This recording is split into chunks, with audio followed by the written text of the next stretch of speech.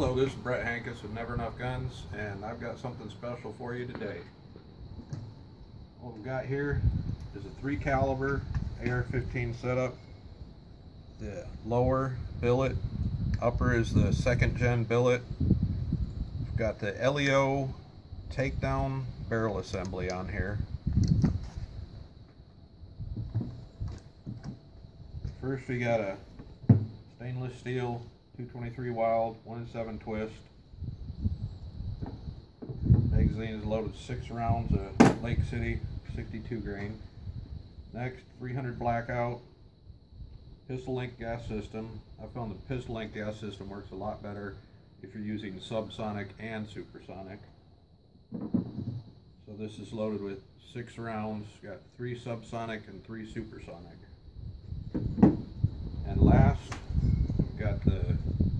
pretty new 350 Legend. There's plenty of ammo out available now for the 350 Legend, so you don't have to worry about that. And magazine loaded with three rounds, 350 Legend. As you can see, each barrel, they come with a gas tube protector. And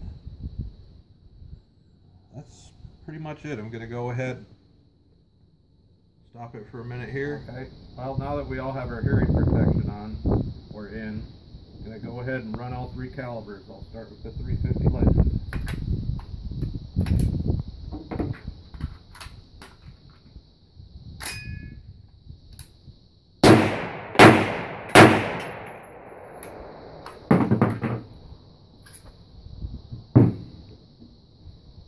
Blackout.